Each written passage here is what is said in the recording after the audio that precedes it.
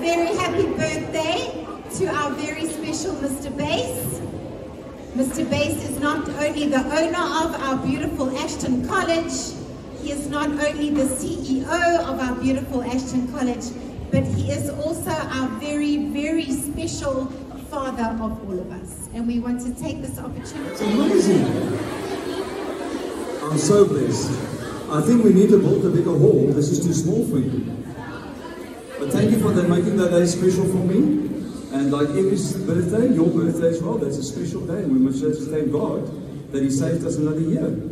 So I'm just grateful for Him to give me the knowledge and the power to build a school like this.